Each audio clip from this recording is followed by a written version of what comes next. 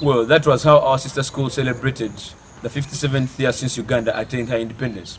Moving on to the sports arena, we're represented by our basketball and football teams in the Independence Cup that was held at Tiber School.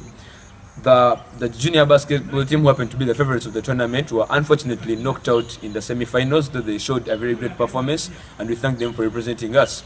Moving on to the football teams, both the senior and junior were knocked out still in the semi-finals in a penalty shootout, though they were still the favorites of the league as they displayed very many tactics that left most of the fans mesmerized.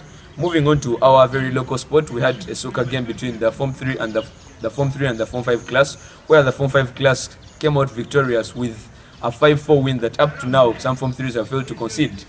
At, by the end of the second half, there was a penalty that was supposed to be shot in. The Form 3s ran for lunch, but at the end of it all, the game ended 5-4.